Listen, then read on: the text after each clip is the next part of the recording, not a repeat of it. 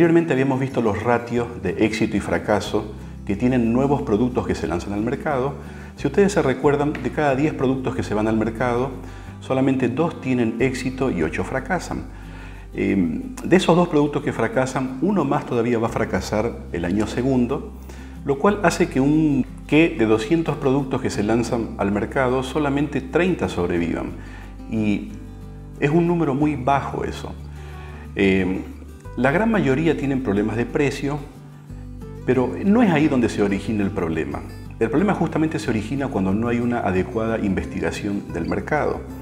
Una investigación de mercado básicamente es tan sencillo como la recopilación de información dentro de un segmento específico. ¿Para qué? Para poder llevar esa información, condensarla y entregársela a los decisores del marketing. Esto te sirve para muchísimas cosas como por ejemplo para fijar los precios adecuados, por ejemplo para ver cuál es la distribución adecuada, cuál es el packaging que tiene que tener un producto, cuál es la estrategia de merchandising que vos tenés que utilizar, eh, cuáles son los colores que vos tenés que, hacer, eh, entender muy bien al consumidor para ver de qué manera le gusta consumir o tener determinados productos. Y bueno, esto es a través de la investigación.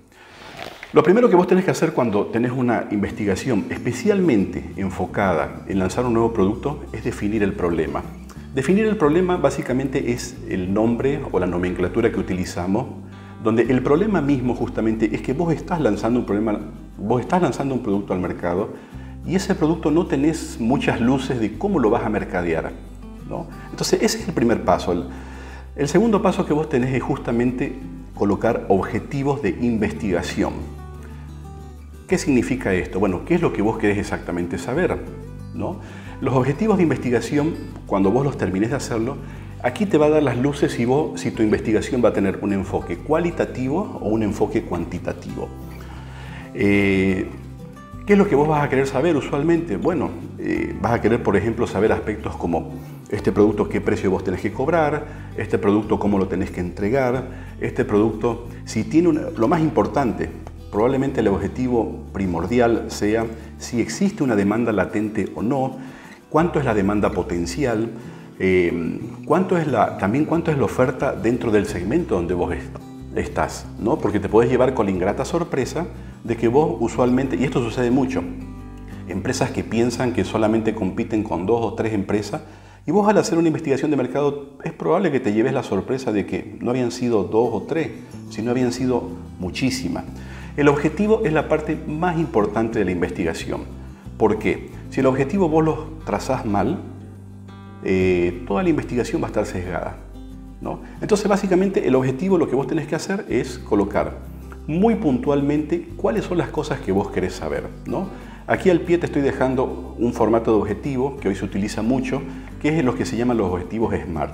El objetivo SMART es un objetivo que eh, trata de sacar las cosas, de desglosarlas muy puntualmente. Pero aquí abajo yo te estoy dejando, aquí abajo, cómo se, cómo se hace. Una vez que tenés definido los objetivos, lo que tenés que hacer inmediatamente, como vos ya sabés el enfoque de la investigación, eh, indiferentemente de eso, tenés que empezar con algo que se llama una investigación primaria o una investigación exploratoria. ¿Qué es una investigación exploratoria? Es una primera aproximación. Puede ser que vos lances al mercado un producto que no tenés muchas luces o muchas ideas de cómo se mercadea. ¿no? Entonces vos lo que podrías hacer antes de ir a, un, hacer tu trabajo de campo, de hacer encuestas, de hacer todo lo que tengas que hacer, simplemente utilizar unas fuentes que se llaman fuentes secundarias, que son fuentes que vos las podés encontrar en libros, bibliografías, internet, ¿no? Para que vos tengas una primera aproximación de cómo se mercadea ese producto o una primera aproximación acerca de esos objetivos que vos te has trazado. Una vez que tenés la investigación exploratoria, que básicamente, como les decía, de fuentes de segunda mano, información que no has generado vos, que ha generado, digamos, periódicos, que han generado revistas, que han generado expertos en el área, vos las has cogido esa información y la vas a llamar exploratoria, vos podés pasar ya a algo que se llama la etapa concluyente. Puede ser que entre medio de estas dos etapas te veas obligado a reformular algunos objetivos. ¿Por qué? Porque puede ser que al hacer la fase exploratoria encontres cosas que no tenías, realmente no sabías que eran actores en algún mercado. ¿no? Bueno, cuando vos pasás a lo que se llama la investigación concluyente, eh, usualmente se utilizan dos tipos de investigación. Una, la descriptiva. La descriptiva es una investigación que lo que hace es describir situaciones del marketing. Tiene un índole un poquito más cuantitativo que cualitativo. el segundo tipo de investigación es la investigación causal. La causal es cuando eh, lo que estudia es la relación causa y efecto. Es decir, vos tenés un problema, me voy a inventar, digamos, tus ventas cayeron 30% este año y no, no sabes por qué. ¿no? Ok, tenés el efecto, pero vos no sabés la causa. No sabés si entraron nuevos competidores, no sabés si una promoción muy agresiva de los competidores funcionó muy bien, no sabes si tu producto quedó obsoleto. Entonces, esa discriminación entre una y otra, vos tenés que darte cuenta, de, o sea, de acuerdo a si vos has tenido un problema, que vos sabés el efecto y no la causa, vas a hacer una causal. Si simplemente querés entender situaciones de la mercadotecnia cuantitativa, ¿no? básicamente vas a hacer una investigación descriptiva. ¿sí? Eh, usualmente con la causal como vos ya sabés el efecto, pero no sabes la causa, usualmente lo que se hace es plantearse hipótesis. Hipótesis, o sea, algunos, vos colocás alguna... Eh, una hipótesis básicamente es una tesis, pero es una tesis que vos tenés que validar o invalidar. Es lo que vos sospechás que sería la resolución del problema que vos tenías. ¿no? Bien, eh, una vez que tenés planteado, una vez que tenés los objetivos, es decir, que primariamente has, definido el problema, has planteado los objetivos, has colocado qué tipo de investigación vas a hacer, has definido tu exploratoria, has definido la causal, ya podemos pasar a lo que es el diseño de las herramientas de investigación. Ahora, ¿cómo vamos a saber qué herramientas son las mejores para usar? Depende, si vos le has un enfoque más cuantitativo, por ejemplo, las encuestas funcionan muy bien, la escala de Likert también funciona bien, pero si tu enfoque es más cualitativo que cuantitativo, tenés otras herramientas, ¿no? como los grupos focales, como las entrevistas en profundidad, los paneles de consumidores, ¿sí? Que yo abajo también te estoy dando un pequeño, te dejo un pequeño resumen de cómo funciona cada una.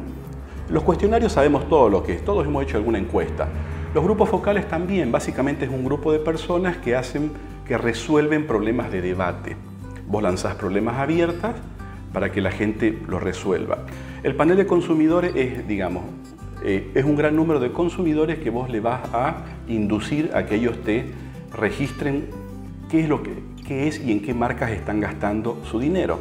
Pero bueno, eh, eso dependiendo de qué tipo de investigación vos vas a hacer, cualitativa o cuantitativa.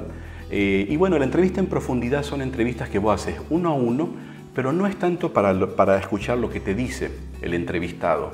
¿no? Y usualmente también se puede hacer con psicólogos esto, sino que también la entrevista lo que el psicólogo trata de ver es la estructura de lo que vos decís, no tanto el contenido, sino la estructura. Bueno, cuando vos ya tenés definido, eh, todas las, tenés definido el problema, los objetivos, has definido también eh, el tipo de investigación, has definido las herramientas, ya podés hacer lo que es el trabajo de campo. ¿no? Ahora, el trabajo de campo, previamente, tenés que hacer, para empezar, por ejemplo, a encuestar, me estoy inventando, vos tenés que hacer un pequeño proceso que es, el proceso de muestreo. ¿Qué es el muestreo? Es saber de dónde vas a sacar vos las muestras. Si vos tenés un mercado potencial, por ejemplo, de 200.000 personas, no vas a ir a, a, a encuestar 200.000 tipos. ¿no? Porque sería un gasto grandísimo eso. ¿Qué es lo que vas a hacer? Vas a sacar una muestra. Ahora, es más o menos, es lo mismo que cuando vas al médico y el médico te saca una gotita de sangre. no te saca, para saber qué tenés no te saca toda la sangre, te saca una gotita. Y lo mismo esto. Ahora, tenemos que tener en cuenta que esa muestra que va a ser sujeto de investigación, esta muestra tiene que ser muy homogénea entre sí. ¿sí? La muestra, ¿cómo la vas a hacer? También aquí al pie te estoy dejando lo que son eh, las dos fórmulas principales que se utilizan para sacar una muestra. Eh, una tiene que ver con que cuando vos no conoces la población, no conoces el número de la población. Básicamente es como si la población fuera finita Y el otro, la otra fórmula corresponde cuando vos sabes exactamente cuánto es tu demanda potencial. ¿no? Bueno, una vez que tenés la muestra, vos ya sabés que, digamos, de una demanda potencial de 200.000 personas, has inferido que vas a tener que encuestar 300, 400, depende de lo que te arrojen las encuestas, la muestra, perdón, vos ya podés salir a hacer el trabajo de campo, ya sea una encuesta, ya sea las entrevistas que tengas que hacer, los grupos focales que tengas que hacer, ya sea lo, el, o si tenés que realizar un panel de consumidores, también vas a tener que ponerlo en marcha, porque es un, es un proceso un poquito más complejo. ¿no? Cuando vos tenés ya esa información, me voy a inventar, hiciste encuestas, hiciste 800 encuestas en un segmento específico de mujeres. Cuando vos lo tenés, esas 800 encuestas o sea, en papel no te sirven de nada. Tenés que pasar a un proceso que se llama la tabulación, es decir, la condensación de esa información en pequeñas tablas para que vos puedas decir, ok, de, de mi muestra el 30% consume este producto, el 80% va al gimnasio, el 50% sí pagaría determinado precio, el 20% gana tanto, ¿no? Pero para que puedas tener así de condensada y así de sencilla esa información. Una vez que tenés eso, lo que se hace es preparar un informe y se presenta ese informe a los decisores del marketing de tu organización. ¿no? Tan sencillo como eso. Obviamente que yo lo he simplificado mucho. Yo te estoy dando exacta los pasos que vos tenés que hacer. Vos para hacer una buena investigación de mercado, te recomiendo mucho el libro de Marcela Benassini. Eh, es un libro que está muy bien explicado con muchos ejemplos muy claros acerca de... Es un libro que solamente tiene 280 páginas y es muy útil, tiene ejemplos muy prácticos que vos podrías utilizar. Eh, bueno, te recomiendo que lo leas si quieres hacer una investigación antes de hacerla porque estos son simplemente los pasos que tienes que seguir. ¿no? Bien, si deseas recibir información relacionada, te dejo al pie mi WhatsApp, envíame la palabra branding para recibir más información. Muchísimas gracias.